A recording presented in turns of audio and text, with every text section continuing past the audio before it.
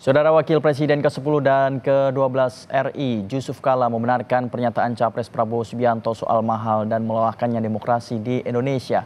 Jika menyebut untuk berkampanye butuh biaya dan energi besar karena luasnya wilayah Indonesia. Menurut JK, perlu ada perubahan sistem.